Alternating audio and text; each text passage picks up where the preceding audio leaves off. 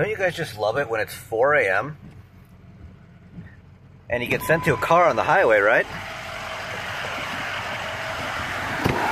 And the information says it's a white trailblazer at mile marker 22 on 35W.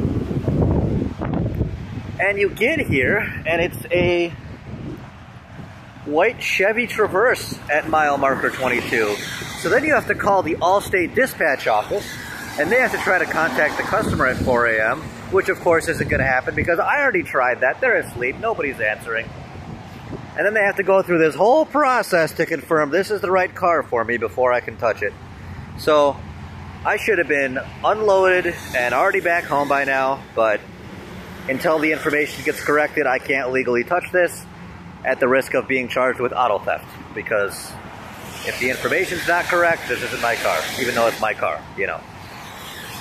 So please, people, when you call your insurance and you ask them for a tow, give them the right information so we don't have to sit here on the side of the highway while they get it sorted out.